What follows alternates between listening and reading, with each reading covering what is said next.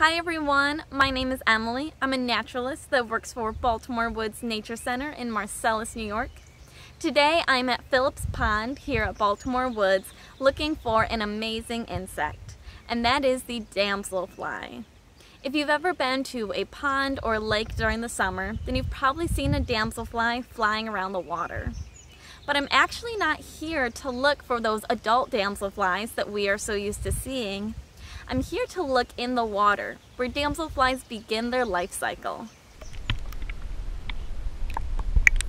Here we are under the pond, the habitat of the damselfly larva.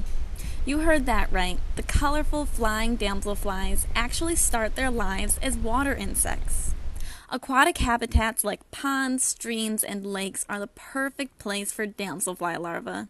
Here, there's plant material for them to rest on as they lie in wait for their prey, and there are also plenty of smaller insects for the damselfly larvae to eat.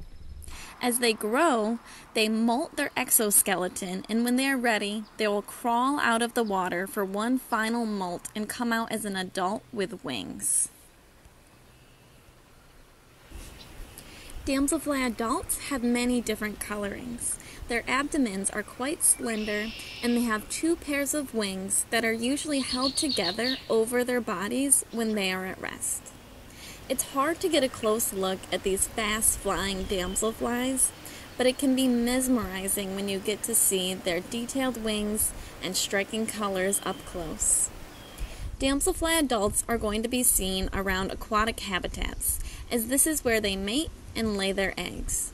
Just like in their larval stage, adult damselflies are predators and feed on any small insects they can find nearby.